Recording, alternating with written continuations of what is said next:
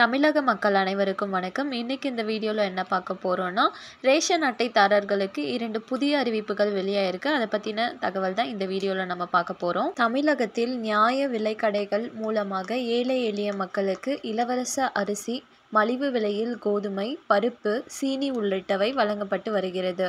இதனை வாங்கி மக்களும் பயனடைந்து வருகின்றனர். அரசின் நிவாரண உதவிகளும் ரேஷன் கடைகள் மூலமாக தான் வழங்கப்பட்டு வருகிறது. இந்த நிலையில் மாவட்ட ஆட்சித்தலைவர் வெளியிட்டுள்ள செய்திக்குறிப்பில் சேலம் மாவட்டத்தில் பொது விநியோக திட்டத்தின் சேவைகளை அனைத்து தரப்பு மக்களும் கிடைக்கும் பொருட்டு ஒவ்வொரு மாதமும் இரண்டாவது சனிக்கிழமை அன்று வட்டங்கள் வாரியாக மக்கள் குறைதீர் முகாம் நடத்தப்பட்டு வருகிறது. அதன்படி பிப்ரவரி ரெண்டாயிரத்தி இருபத்தி மூன்று மாதம் இரண்டாவது சனிக்கிழமை பதினொன்று ரெண்டு ரெண்டாயிரத்தி இருபத்தி மூன்று அன்று ஒவ்வொரு வட்டாட்சியர் அலுவலகத்திலும் நடைபெறும் குறைதீர் முகாமில் பொதுமக்கள் தங்களது குறைகளை வட்ட வழக்கில் அலுவலரிடம் தெரிவித்து குறை நிவர்த்தி பெறுமாறு தெரிவிக்கப்பட்டுள்ளது. இக்குறைதீர் முகாமில் குடும்ப அட்டைகளில் பெயர் சேர்த்தல் பெயர் நீக்கம் முகவரி மாற்றம் புதிய குடும்ப அட்டை நகல் அட்டை கோரும் மனுக்களை பதிவு செய்தல் ஆகிய சேவைகளை வேண்டி முகாமில் கோரிக்கையினை அளிக்கும் பொதுமக்கள்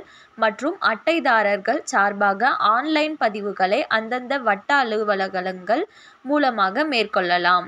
கைபேசி எண் பதிவு மாற்றம் செய்தலுக்கான தனியான கோரிக்கை மனு தேவைப்படின் அவற்றையும் பெற்று நடவடிக்கை மேற்கொள்ளலாம். பொது விநியோக கடைகளின் செயல்பாடுகள் மற்றும் அத்தியாவசிய பொருட்களின் தரம் குறித்த புகார்கள் அளிக்கலாம்.